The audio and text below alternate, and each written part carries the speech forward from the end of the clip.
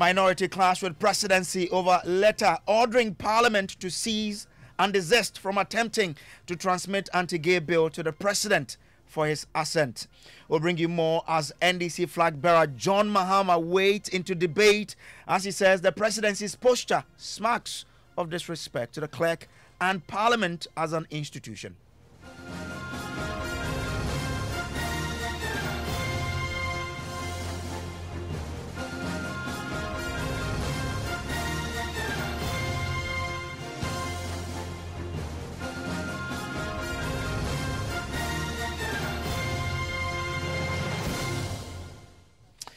So does Parliament consider that they have served the President with copies of the bill and does the constitutional seven-day timeline already kick in? We have more. Tonight, the minority in Parliament is on a collision course with the presidency as they urge the clerk to Parliament, Cyril Oteng Nsiah, to ignore a letter from the presidency warning him against any attempt to send the president copies of the controversial anti-gay bill. Now, the clerk to Parliament tried without success to transmit copies to the president for his signature.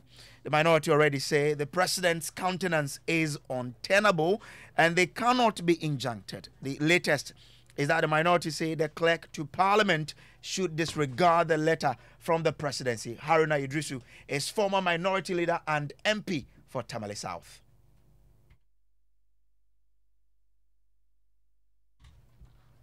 Uh, as, as he spoke, uh, uh, MP for Old Tafo Vincent Ekow Assafuah also says the Tamale North MP is completely misreading the constitution. And as far as he's concerned, the president has done nothing wrong and he's right to stop the clerk from bringing him the bills. Now, uh, a lot more people have been reacting to this story and we'll bring you all the angles to this. But let's go to Parliament now and speak to our Parliamentary Affairs correspondent, Kweku Asante, who joins us with some details. Kweku, did the issue come up on the floor of Parliament? Well, that was the expectation. The expectation was that the former minority leader who raised this issue on the floor, and that is the indication he actually gave me. He actually did go inside the chamber to try and have a conversation with the speakership, the first and second deputy speakers who were around today, to try and see if they will allow him make that statement. We did not get any indication on that, and it was as a result he did a news conference outside of the chamber raising this matter. On the floor, it did not come up. But Haruna Iddrisu says the president is acting unconstitutionally and the clerk to parliament must disregard that letter that was signed by Nana Bediatuo Asante, the executive secretary to the president. Mm, mm, interesting then.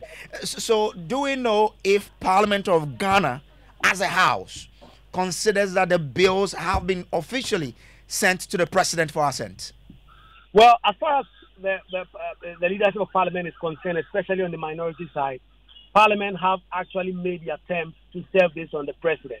And in fact, the officials of the clerk to parliament did indeed try on Thursday to get these documents to parliament, uh, to the presidency. The respondents have been making a lot of noise, demanding that the clerk to parliament does this job. The second point, however, is that the Speaker of Parliament himself, Alban Bagbin, has been outside the country for a while, and we understand parliamentary leadership is taking some decisions on this matter. And when the Speaker of Parliament arrives, where he has been over the last week, he will offer some advice and some directives on what should happen. Haruna is already saying that they will start counting the seven days that Article 106 imposes on the president to either act or write to Parliament signifying his intention not to sign that into law. And that has become the second point where the minority now insisting that the president is simply acting unconstitutionally. Mm. Well, well, quite, quite an interesting development there. So, I mean, Haruna Iddrisu has spoken. What about the, the majority side of the House? What have they also been saying about this development? Well, it was a difficult, uh, uh, difficult day today trying to get someone from the majority side to comment on this. In fact, the majority leadership will not say much of this because they want to keep their strategy close to their chest. But we managed to speak to Vincent Ekow Assafuah, who is a lawyer, deputy minister designate for works, uh, for local government ministry and MP for Old Tafo, who says that the minority, through Haruna Iddrisu, are simply taking the matter out of context and that they believe that the president, by virtue of the injunction applications that are currently pending before the Supreme Court, the president is right to seek to restrict the clerk to parliament from making any attempt, any further attempt, like he made last Thursday, to actually serve the president or send the authenticated copy of the controversial anti gay bill to him. And that the president has not breached the constitution, the president is acting within the confines of the law. We are doing it tonight because we wanted to go, you know, Well, so uh, I mean, interesting there. I mean, it's it's quite interesting for all of us to anticipate what the House will take this now that the House looks a bit divided because one person from the minority is is saying that well the president has erred. Another another person from the majority also says, well, the president has done nothing wrong. Um, let's listen to all these people, starting with the former minority leader Haruna Iddrisu. He says the Attorney General have informed the office 18 May 2024 that the President has been duly served with both applications and had advised the President not to take any step in relation to the bill.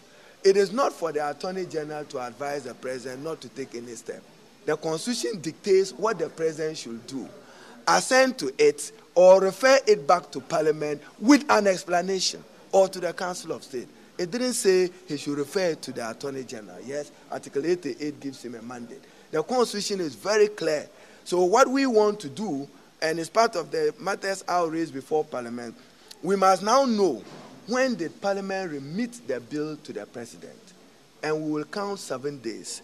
If seven days have lapsed and he has not assented to, and he has not written back to Parliament, nor to the Council of State, will hold the president responsible for a constitutional breach, and he should know the legal, lawful, constitutional consequences of his action. So this is why we've called to address you that it's a matter of grave constitutional threat to our democracy and to the proper and effective functioning of the constitutional structures created by the ninth, framers of the 1992 Constitution, which envisioned separation of powers not the predominance of any organ over the other, not the predominance of Nana Dankwa Akufo-Addo over every other organ of state. He is wrong in law, he is wrong constitutionally. The clerk should ignore this communication. I'm happy. So that's uh, former minority leader um, Haruna Iddrisu there. Now, once this has come onto the domain, it, it, then opens up for other people to join the debate. And of course, the NDC flag bearer, John Mahama, has waded into this debate. He says the president's secretary has no such authority to issue such a letter, insisting the parliament is constitutionally independent.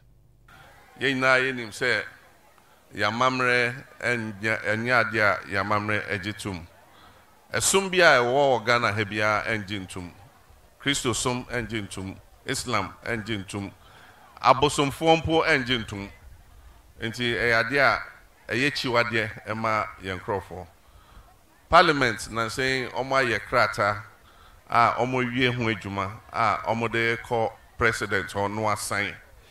Na president aka sɛ ɔnsan ɛfiri sɛ obi de asɛm no akɔ court.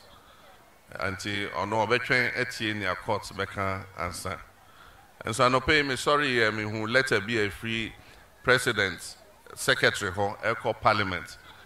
Ɛma no warning sɛ saa krataa no mɔmfa mma uh, president office mpo na obi a lawyer obi a lawyer bi abɛka kyerɛ sɛ uh, president secretary ɛnni tumi sɛ obetumi atwerɛ saa letter no ɛfiri sɛ parliament ɛyɛ constitution ɛna ahyɛ mmara ma wɔn sɛ wɔn yɛ saa eyi ne wie a wɔn fa nkɔ president ho.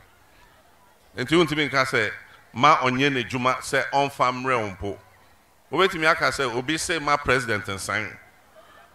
Nti metwɛn etie supreme court. But wontumi twerɛ letter ɛma clerk sɛ ma ɔnfa ɛma president as ɛɛ ɛɛ ɛɛ jubilee house hɔ.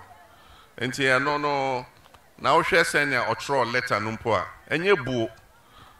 Ɔtwerɛ letter no bibibi te sɛ ɔwɔ tumi bi ɛkyɛn parliament.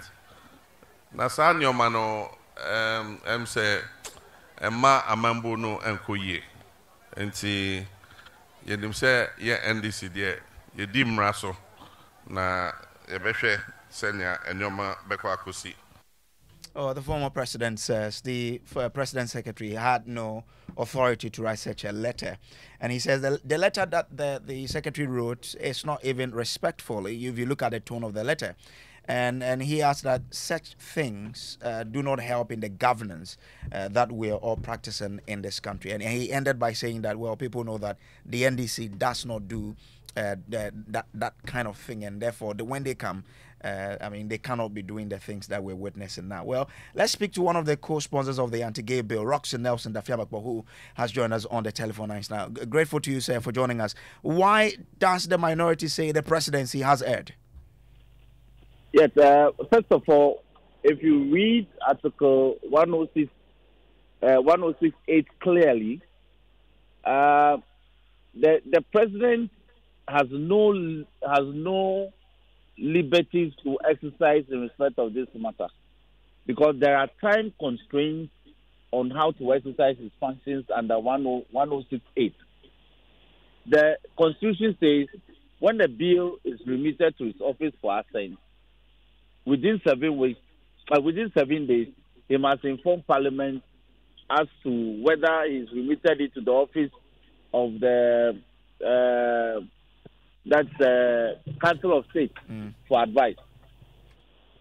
Now, if it's not remitting it to Council of State for advice, then he must communicate to Parliament within 14 days whether he's proceeding to give assent or he's exercising a veto.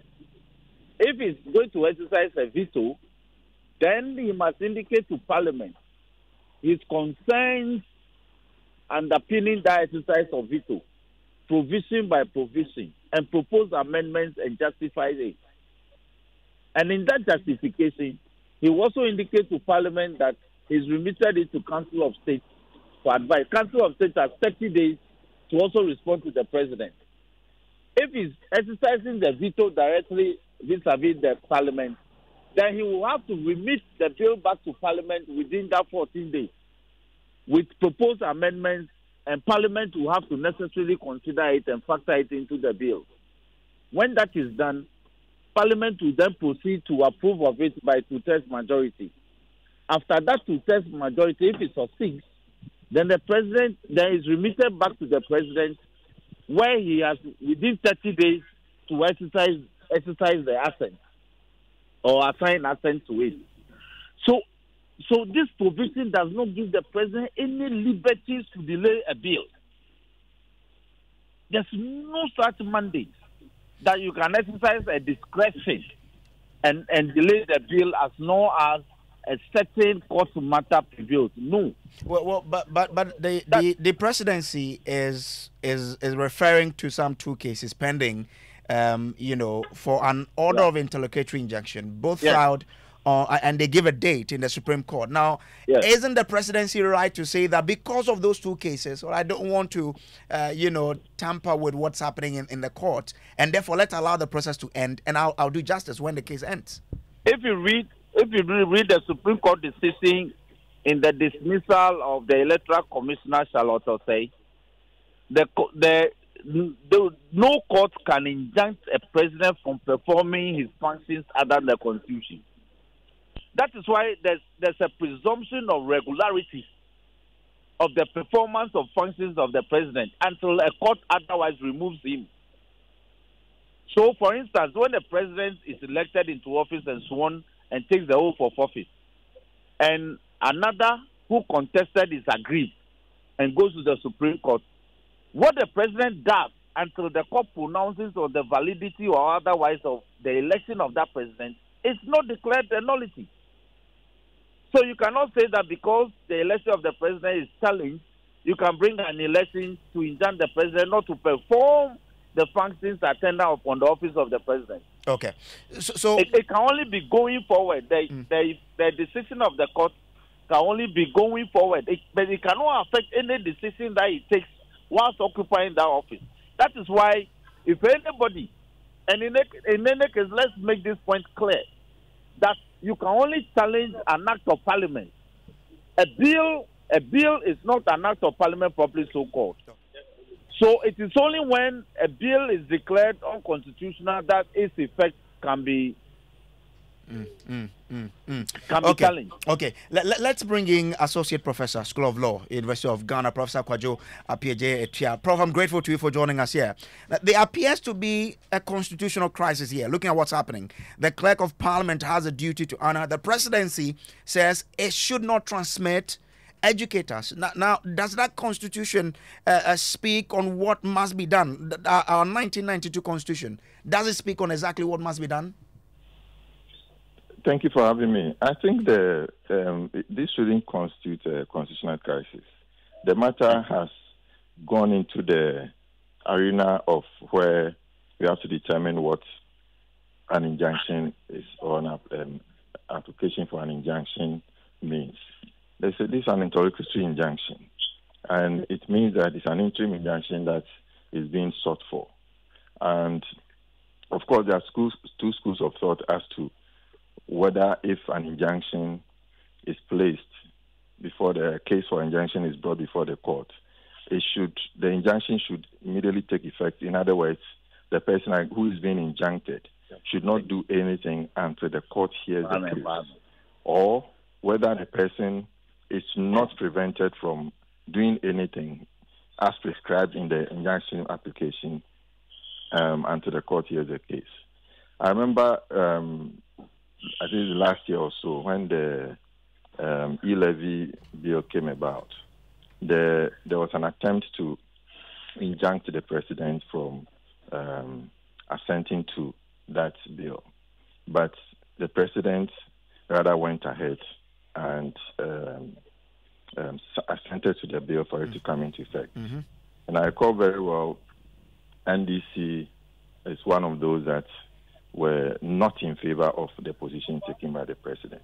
So, the, so at that point, the NDC view is that when an injunction is issued, it should immediately hold the hands of the one against whom it is issued, in this, in this case, the president, until uh, the case is determined, determined by the courts. So we all um, were not in favor of the decision taken by the president and thought that he didn't act according to um, the requirements of the constitution. So uh, uh, if the um, the president at this time decides not to um, um, sign the bill or assent to the bill, but to wait for the court to pronounce on it, Okay. I think Oh, the president is doing the right thing. So all that we have Oh. to do is to wait for the president uh, for the court to make a determination of the injunction.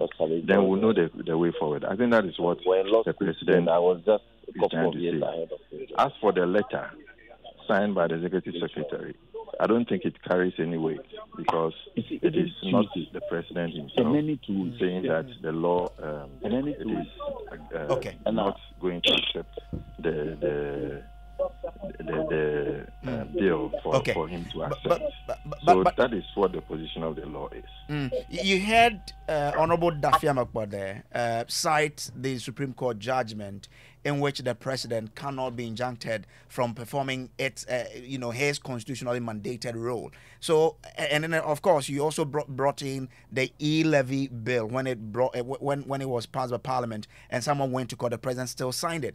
So, what is happening here is the president and the minority, all, all of them choosing and picking what and of course uh, which of the areas they will argue for and against at which point in time Well, you can say that um, there's choosing and picking, and that is where politics come into the picture. But I, I, I look at it from the um, purely legal angle and say that the president probably wants to do the right thing this time. That is why he's saying that um, um, um, my hands are held until there's a determination by the court, because that is the view that generally uh, should be. Because if that person is who is um, being injuncted through that uh, application says that I, I I, I, don't- know if you are close to a radio set. If you are, kindly lower the volume or turn it down for us. no, actually, you are not interested. No. Okay. All right, let's hear you, is it better?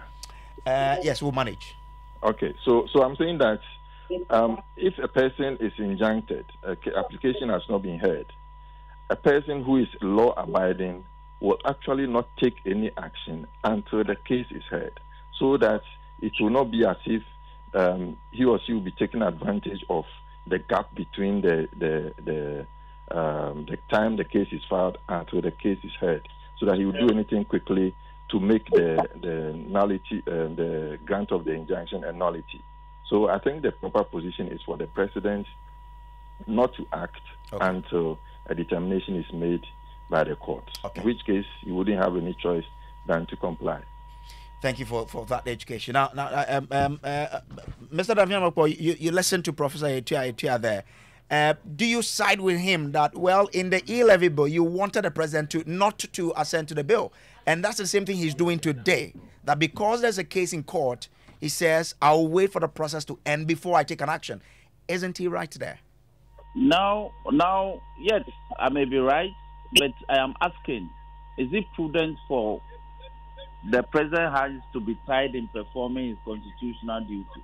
Because I cited the case law, I cited the, the doctrine of law, which is presumption of regularity of actions or actions performed until the court of law otherwise pronounces. But let me let me let me ask this, and Prof Prof, I, I, I mean my great professor, my lecturer, I mean he taught me law, and so I have high very high regard for him. He taught me at the postgraduate level as well. But let me ask this: If tomorrow I sue the Chief Justice in respect of the performance of his administrative functions and and all that for some matter, so I am aggrieved can I bring an injunction against the Chief Justice and proceed to say that based on that she shouldn't perform all her constitutional functions, including empanelment of court? Can you imagine the, the absurdity well, well, well, and the chaos that that would generate? Well, but, but again, uh, when the e levy issue came up and you didn't want the president to assent to the bill, weren't you aware of the, the, that provision that the president should not be stopped from from performing his constitutionally mandated responsibility? Let me let me give you a lot of instances.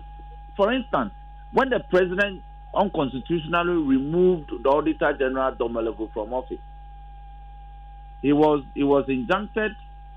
He was told to to to restore the man until the Supreme Court pronounces otherwise. He refused. Domelevo never went back to office the Supreme Court went ahead to pronounce that his actions were unconstitutional. There's been no con- there's been no consequences.